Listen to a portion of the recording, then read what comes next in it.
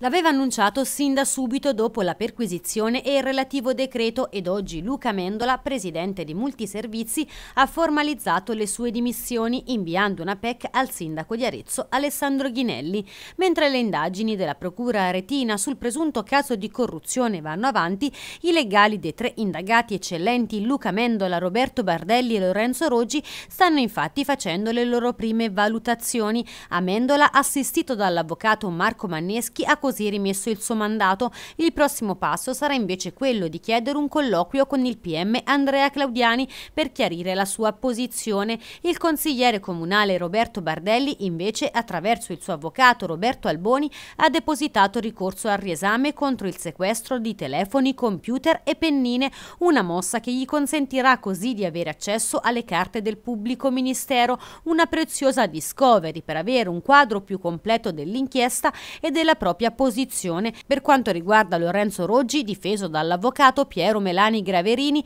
il Partito Democratico invece ne ha chiesto le dimissioni da presidente di Arezzo Casa. Le indagini sul presunto caso di corruzione avevano preso avvio da una costola dell'inchiesta Coingas. La procura di Arezzo ipotizza infatti una promessa di utilità, l'aiuto per un prestito da 200.000 euro che nel 2016 Amendola avrebbe fatto a Bardelli in cambio del suo sostegno per la nomina in multiservizi, una vicenda cui contorni restano ancora tutti da chiarire, emersa da due file audio registrati in modo occulto da Sergio Saderini, ex presidente Coingas, nei quali viene captato anche il sindaco di Arezzo Ghinelli, al quale gli stessi Bardelli e Roggi parlano dell'accordo non rispettato.